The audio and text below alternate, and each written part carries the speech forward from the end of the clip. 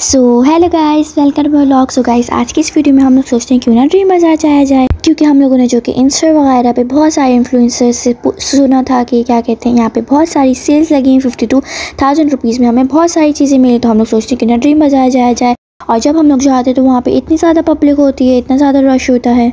और साथ ही साथ गार्ड अंकल भी हमें मना कर देते हैं कि अंदर जाना अलाउ नहीं थाउज़ेंड पीपल्स जा चुके हैं।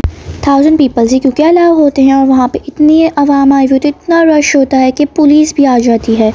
पुलिस जो कि डंडे वगैरह लेके आती है और वहाँ पे इतना रश होता है अनाउंसमेंट हो रही होती है कि फ़र्स्ट डे है ये फोर्टी डेज़ तक सेल है आप लोग प्लीज़ चले जाए। लेकिन कोई जाने का नाम ही नहीं ले रहा था ले, लेकिन फिर थोड़ी देर बाद गार्ड अंकल ने बोला अनाउंसमेंट में बोला कि आप लोग जो कि लाइन बना रहे हैं हम लोगों को तो जाने का मौका ही नहीं मिला। हमने सोचा क्यों ना वापसी चले जाएँ यार इतना इतना रश था। लेकिन हमें जो अंदर से बाहर दो तीन लोग आए थे, हमने उनसे पूछा तो उन्होंने बोला, बिल्कुल भी सही नहीं है। लोग इतने पागल हुए हैं, वहाँ पे हमें सही से जाने का मौका ही नहीं मिला। इतनी गर्मी हो रही, इतने सारे लोग आए हुए हैं। फिर हम लोगों ने सोचा, क्यों ना चेज अब चले जाएँ?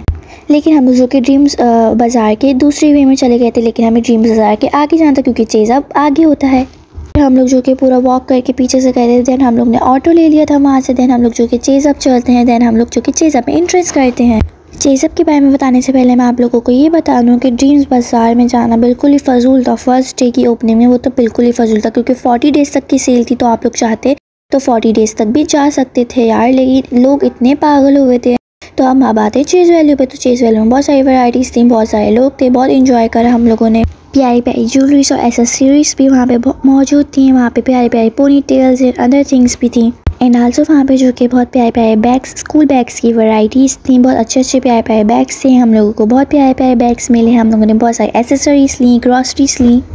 और वहाँ पे साथ ही साथ हैंड बैग्स भी थे। एंड वहाँ पे ज्वेलरीज के सेक्शन में जब हम गए, वहाँ पे प्यारे प्यारे बैंगल्स बच्चों के necklace and mini mini purse भी अवेलेबल थे। एंड वहाँ पे जो कि प्यारे प्यारे hair band bow clips and other things भी अवेलेबल थी।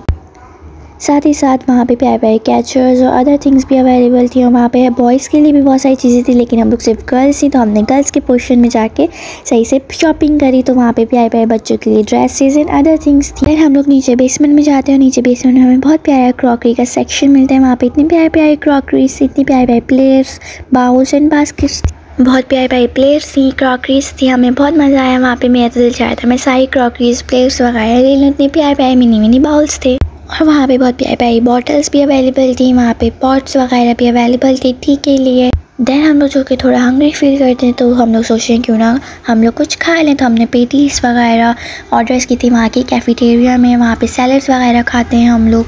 देन हम लोग पिज़्ज़ा वगैरह खाते हैं ग्रॉसरीज वगैरह लेते हैं देन हम लोग जो कि बिलिंग में लगते हैं देन बिलिंग करने के बाद हम लोग घर चले जाते हैं। साथ ही साथ डे ड्रीम की ओपनिंग के चक्कर में चेज वैली की भी वैल्यू बढ़ जाती है ज़्यादा लोग डे ड्रीम से डिसअपॉइंट होकर चेज वैल्यू चले जाते हैं। So thank you for watching bye bye like share comment